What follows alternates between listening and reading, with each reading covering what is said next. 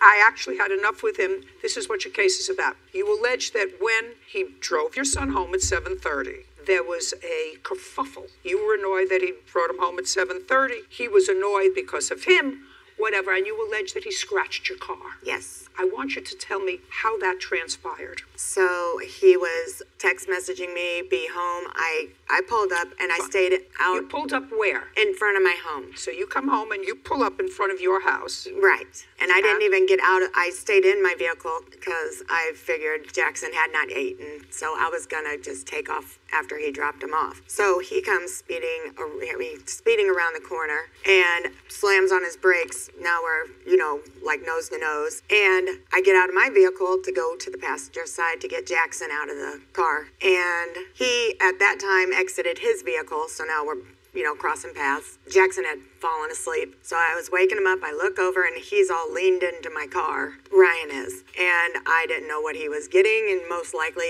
my phone, he takes Don't- don't- things. don't- I didn't Don't know. most likely. You saw So- him leaning into your car. Yes. So I grabbed his keys out of the ignition of the car he was driving and I tossed them into the middle of the road to get him out of my car. And he then grabs my keys and he gets out of my vehicle and tosses them as hard as he could into an empty lot. Okay, so you threw his keys into the road. He threw your keys into an empty lot. Correct. So far, that's pretty consistent with what I read in both the complaint and the answer. Go ahead. So I tell my son, um, baby, you know, he's awake now. Uh, baby, go sit up on the porch. I had to get my keys to get the house key.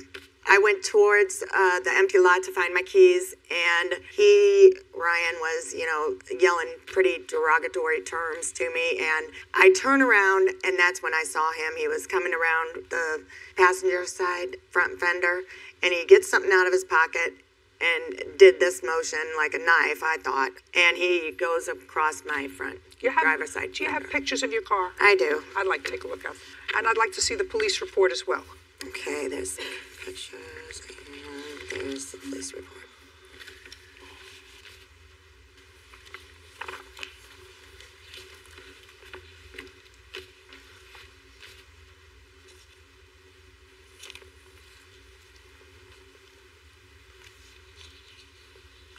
Did you ever file criminal charges? He asked if I wanted to press And you said charges, and I said yes. And you said yes. Other than the contact that was made by the police on the second, were you ever contacted by the police again? Uh, no. With regard to this? No, she dropped the charges the next day. No, no. No, I Show, didn't. Okay. show me. Did she drop the charges? Yeah. Uh, how how would I have that? The police. Well, you, then you I never then, got a then you warrant. don't then you don't know what happened. Well, a warrant never came out for me. That doesn't mean she dropped the charges, sir. Well, she I told mean- me the next day she dropped the charges. I didn't know. Oh no no no no!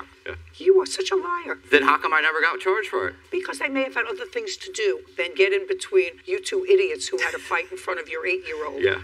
Right. Right. Yeah, exactly. You have to pay for the scratches on the car, I go- you fool. Every time I go around her, there's You a fight. You fool. Hey, would you like to see some of her text messages to No, me? No, I don't wanna see any text messages from her. I think you're a big change mind baby. about her. I think you're a big baby. Judgment for the I wish I plaintiff the a amount couple of of- five hundred and forty-nine dollars. We're done. What is our excuse? Julie, step out. It's very difficult.